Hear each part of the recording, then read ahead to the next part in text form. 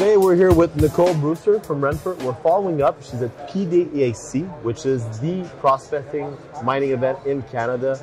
Uh, I think I think uh, Glenn told us 50,000 people are showing up. Nicole? I heard 41,000, which the last pre-COVID one, the highest number I heard pre-COVID, because I did that one as we locked down. I was here. Oh, wow. And because it used to be in March, right? That's true. June is bizarre. Um, the attendance that year was 26,000. So that's what COVID has done to the PDAC, which is the premier mining convention slash trade show in the world. So Nicole, um, it's a good, interesting fact. My question for you is: You've been to many of these. Why are there not many young investors? As I was walking through, I see a, hair. a lot of gray hair. And, and no offense, man. Don't be mean. No offense, man. But Stress. It's but, white. It's but why even are there many young investors? It's funny. I, I just the sex appeal of mining is probably non-existent, but the reality is, you know, our world. You mine it or you grow it. Everything on our planet. Take an inventory of your outfit today, Monsieur. Yeah, that's true. Everything you wear is either mined or grown, and I think it's just a fundamental, um, a fundamental disconnect. However, okay, I have two thoughts. The first is somebody told me that the mining industry needs to take a page out of the milk industry in Canada, for example. You don't have to watch TV long in Canada before you come on a commercial or That's a free true. calendar for Canadian Milk Association. They do a great job of promoting themselves. Every Canadian is aware of the fact that we have cows in this country and we make milk, right? That's true. Probably not aware of how much of a mining powerhouse this country is, though.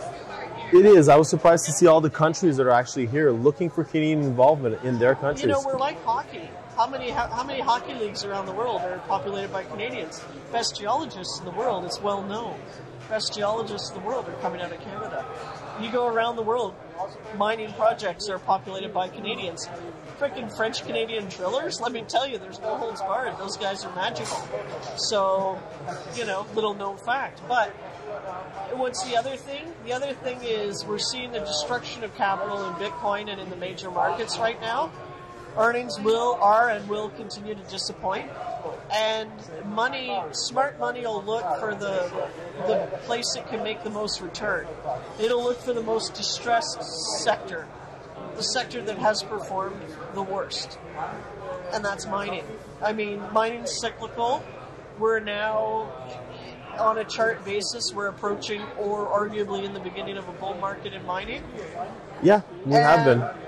That is coupled with the fact that we're in the midst of our own industrial revolution, the switch to energy storage, EVs, you know, battery storage in general, and coupled with, at the same time, a decline in commodities coming online because about 10 years ago, the mining at the top of the last mining cycle, the, the, the smart boys did lots of dumb deals, spent too much money, had to cut their spending, they all cut their exploration.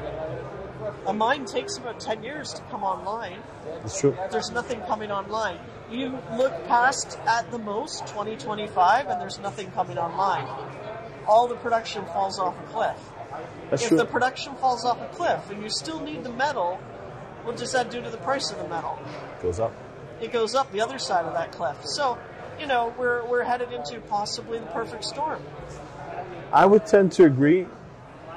Now, so what does that mean to investors is your next question. What does that mean to young investors?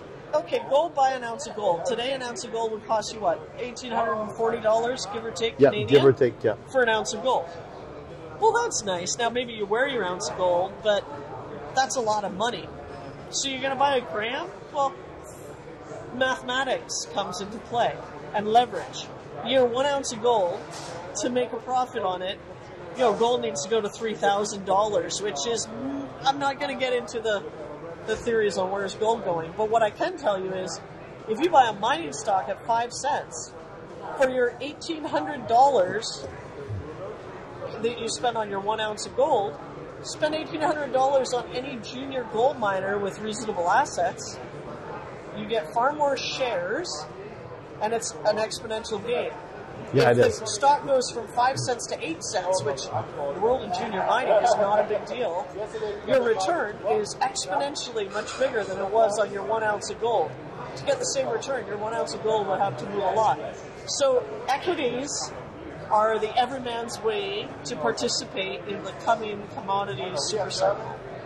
I would tend to agree, and especially in the fact that we need all these strategic metals. The governments are mobilizing themselves to actually look at these metals. I, U.S. government's writing checks. Our own government's selectively writing checks.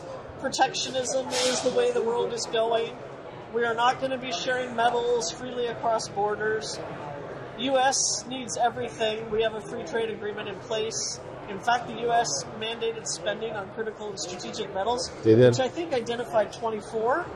Uh, though mo- that money can be spent in Canada, I found out, because it ensures their supply chain. Because apparently we're just another state. Anyway, I we're not going into the politics here, but suffice to say, an easy way to participate in this coming cycle is in junior mining equities. It's the, you know, it's the Wild West. Picture Clint Eastwood fixing his hat and saying, "Come on, Yep. partner, buy some stock."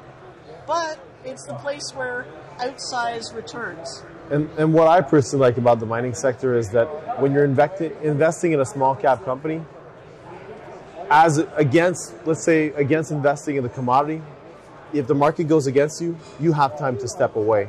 Correct. But if you're investing in the commodity, if the market falls off, it hurts. Right. So I, I like I like the fact that I can see that trend kind of hit me, and I can actually tactically figure out if I want to step away or I just don't mind. It'll come back. Well, or if you've been, you know, you're, you're also looking at your risk profile. I would say, as a large, broad generalization, in the junior mining space, your risk is virtually eliminated at this point. Like, as you know myself, I run a junior mining company. We have assets that, on a valuation basis, far exceed our market capital, market capitalization. So you would say the market's dictating the value of the assets. But no, there's real metal in the ground with real value. Stock trades at five cents. So what's your risk? It's five cents. So you're not you're not buying Bitcoin, which is trading at thirty thousand dollars, and hoping for the Oh, it, best. it fell down. It's now twenty four thousand. Well, It tells you how much attention I pay to that. But okay, you're not spending twenty four thousand dollars on Bitcoin. Which sure, it could go to the moon or it could go to the seal, the cellar. You're going to buy like what one one thousandth of a Bitcoin anyway. So you're Yeah. not you've not got leverage on your side. So for the young investors, generally speaking, if you're under forty, you have more disposable income than most of the population you're, you're approaching your maximum earning years. You're possibly not paying a mortgage yet. Possibly don't have kids. So you're you're you've got some flexibility in your income.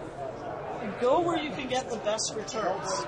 Don't buy a bank stock, which if it goes up ten percent, great. Your your one dollar you spent's now worth one dollar and ten cents. That's true.